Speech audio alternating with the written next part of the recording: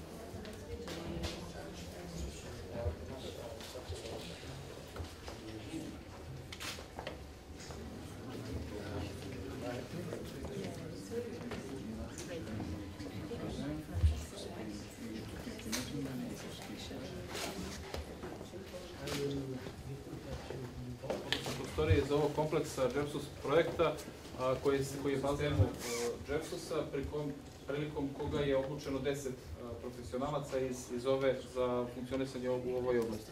Gospodin Ivica Vuković će vam ukratko prezentovati neke najosnovnije... Ovaj, dakle, 465 zgrada, ako uzmemo prosjek troje, tri osobe po zgradi, dođemo do 1300, 400 policijske stanice, domovi zdravlja i slično, da se lociraju najbliže na mapi, ne najbliže samo, nego u stvari da se lociraju sve, značeno crvenom bojom, znači naj, najpromjetniji put kojim se najbrže može stići do datog mjesta.